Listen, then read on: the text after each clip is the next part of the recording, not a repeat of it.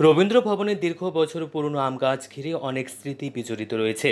এই আম গাছকে ঘিরে হয়েছে নানান অনুষ্ঠান। রাজ্যের পাশাপাশি বহিরাজ্যের শিল্পীরাও এই আম্রকুঞ্জে অনুষ্ঠান করে গেছেন। মন মাতিয়েছেন সকলের। পুরনো ভবনের স্থানে নতুন করে মাথা তুলে দাঁড়িয়েছে অত্যাধুনিক প্রেক্ষাগৃহ। পাল্টে গেছে শহর আগরতলা। দ্রুত পাল্টে যাচ্ছে তার রূপ।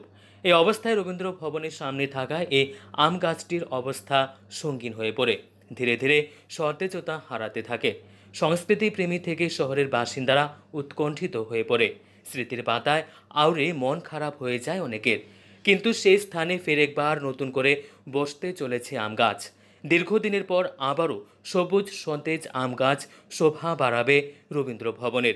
অবশেষে শনিবার বিশেষজ্ঞদের পরামর্শ মোতাবেক পুরনো নষ্ট হয়ে যাওয়া আম গাছটিকে তুলে সেখানে নতুন করে বসানো হয় আম গাছ। বিশেষভাবে এই আম গাছটিকেই বসানো হয়। সিদ্ধান্তক্রমে নতুন গাছ বসানোর। সেই মোতাবেক শুরু হয় গাছের সন্ধান। অবশেষে ডুকলি ব্লক এলাকা থেকে অনুরূপ একটি আমের গাছ শুক্রবার রাতেই আনা হয় রবীন্দ্র ভবনে শনিবার বিশেষজ্ঞদের উপস্থিতিতে সে গাছ বসানো হয়। শিল্পীদের দাবি, ও শহরের মানুষের জন্য ফের একবার রবীন্দ্র ভবনের সামনে বসানো হলো আম গাছ। আম্রকুঞ্জ ফের ফিরে পেল তার জীবন। একে ঘিরে নতুন করে শিল্প চর্চা হবে বলে আশা ব্যক্ত করেন হলগুলির সোসাইটির চেয়ারম্যান কমল দে। গাছটা আগে যে গাছটা ছিল কি হয়েছে গাছটা? অ্যাকচুয়ালি এই গাছটা দীর্ঘদিন ধরে এটা পচা অবস্থায়। আপনার আমার পাশেই আছে গাছটা।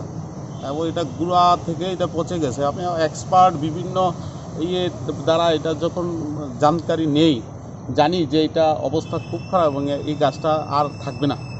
এবং এই গাছটাতে কিছু করা যা সম্ভব না সবাই যখন এক্সপার্টরা বলেছে তখন আমরা সিদ্ধান্ত নিয়েছি আমাদের বোর্ড আমাদের সংস্থা সিদ্ধান্ত নিয়েছে যে এটা তুলে আরেকটা গাছের ব্যবস্থা করতে হবে, যেহেতু এটা আম গাছই ছিল এবং এটা বহু পুরানা, আমার মনে হয় কত বছর হবে আমি জানি না, তো আমার মনে হচ্ছে এটা শ বছর তো হবেই, একশো বছর তো হবে এরকম একটা গাছ তারপর সিদ্ধান্ত নিই, সিদ্ধান্ত নিয়ে আমরা আবার নতুন একটা গাছের খবর নিয়ে চারিদিক থেকে এরপর আহ, ডুগলি ব্লকের চেয়ারম্যানেরকে বলেছি উনি আমাদেরকে ভীষণভাবে সাহায্য করেছেন অজয়।